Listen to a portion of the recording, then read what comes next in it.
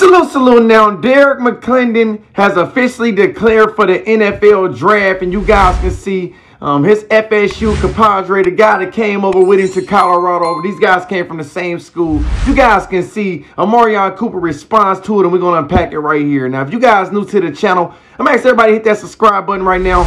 We on, you know, we're trying to run to a thousand subscribers, and we're doing a great job at it. Or you guys have been doing a great job at subscribing, getting this page out there already. In just a week, we pretty much getting closer and closer to our goal of a thousand subs. And outside of that, if you guys can hit the like button for Derrick McLendon, as this brother put it all on the field last year, and he tried to find his way, you know, going into the NFL now to try to take things to the next level to get him and his family paid. You have to salute it. Now, uh, you guys turn that post notification bell on to all so you can get all of this content. We're gonna jump into it now. Right here, you guys can see Omarion Cooper. Um, last year's cornerback, you guys can see him and Derrick McLendon. They both was on the field doing the best they can on the defensive side of the ball. And you guys can see Omarion Cooper responds or reacts to him declaring for the NFL draft. As he said he's proud of him and he said he came a long way.